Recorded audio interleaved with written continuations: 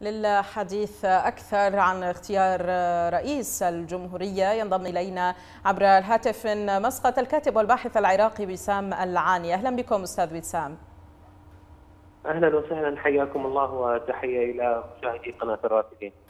بالتزامن مع عقد البرلمان لجلسته لاختيار رئيس الجمهورية وفي ظل الخلافات الجارية بين الأحزاب الكردية ما هي توقعاتكم لنتائج هذه الجلسة؟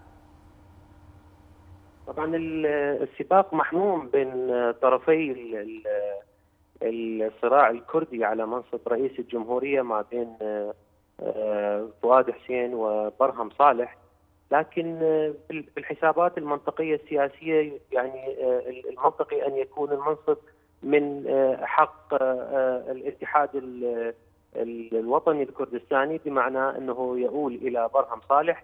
لكن أيضا هناك حسابات سياسية في الواقع كثيرة تقول أن فؤاد حسين ربما يحظى بفرصة أكبر خصوصا وأن هناك أطراف كثيرة الآن داخل التحالفات الشيعية وداخل أيضا حتى التحالفات السنيه لديها رغبة كبيرة في التحالف مع مسعود برزاني وتشكيل يعني تحالفات جديدة. وخصوصا بعد أن رأينا التحالفات الكثيرة التي تشكلت بين متضادين في العملية السياسية والتي أثمرت عن تشكيل تحالفات داخل مجلس البرلمان أدت بالفترة الأخيرة إلى انتخاب رئيس البرلمان محمد الحلبوسي. وربما هذا التشكيل الجديد وهذه التشكيلات الجديدة للتحالفات السياسية التي صارت تجمع المتضادين والخصوم التقليديين ربما هي نفسها تقود إلى أنه التحالفات الشيعية الكبيرة مثل تحالف البناء ربما يتحالف هذه المرة مع مسعود بارزاني وبالتالي يميل إلى اختيار مرشحه فؤاد حسين. نعم. طبعا أيضا إذا اعتمدوا إذا اعتمدوا آلية الانتخاب داخل نواب الكرد في في البرلمان أيضا هذا يعني بسبب الكثرة أيضا يجعل الكفه تميل إلى فؤاد حسين يعني توقعات ننتقل ننتقل لهذه أو نبقى فيها في هذا السباق الحاصل بين الحزبين الكرديين على رئاسة الجمهورية حتى الساعات الأخيرة. بعد أنباء تحدثت عن لقاء جرى بين المرشحين مع السفير الإيراني في بغداد. كيف تقيمون مثل هذا اللقاء؟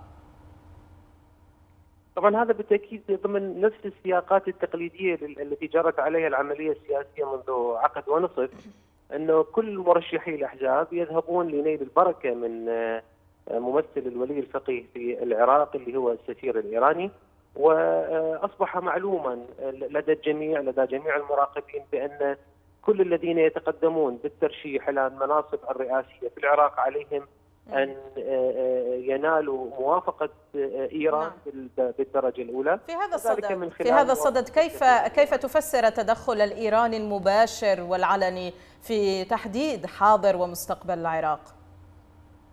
للأسف الشديد هذه حقيقية تاريخية معاصرة مؤلمة جدا إيران كطرف إقليمي راعي للمشروع ال ال ال الأمريكي الذي يعني حضر بقوة بعد بعد بعد الغزو عام 2003 دعم الإيراني للعملية السياسية في العراق يجعلها وهي طبعا أكبر داعم بعد الولايات المتحدة الأمريكية لهذا المشروع في العراق يجعل لها اليد الطولى بعد أن التقت مصالحها مع مصالح الكبار في العالم ومنهم الولايات المتحدة الأمريكية على أن يكون الوضع في العراق الحالي يسير باتجاه تفكيك الدولة، تفكيك مؤسسات الدولة، نشر الطائفية، إضعاف مؤسسات الدولة، وبالتالي السيطرة على أكثر ما السيطرة أكثر ما يكون على على محركات السياسة في العراق.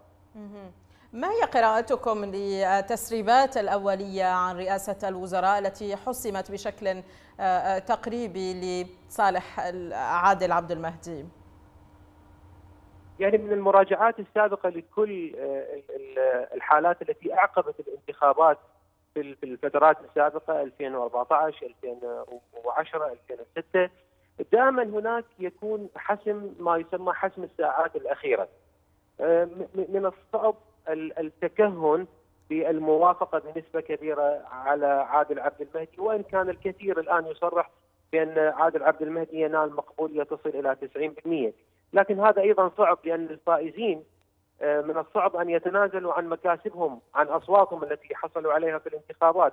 وهذه الأصوات كانت مدفوعة مدفوعة الثمن يعني دفعوا مبالغ كبيرة لشراء هذه الأصوات. ليس من من المنطقي أنه يتنازلون عن هذا المنصب ولصالح لصالح شخصية مستقلة. يبقى التكهن صعب وهناك أيضا ما يسمى بحسم الساعات الأخيرة وأنا شخصيا أعتقد أيضا أن حظوظ عادل عبد المهدي هي أيضا حظوظ ليست كبيرة آه، في في نيل في نيل منصب رئيس الوزراء. أشكرك جزيل الشكر الكاتب والباحث العراقي وسام العاني كنت معنا عبر الهاتف من العاصمة العمانية مسقط.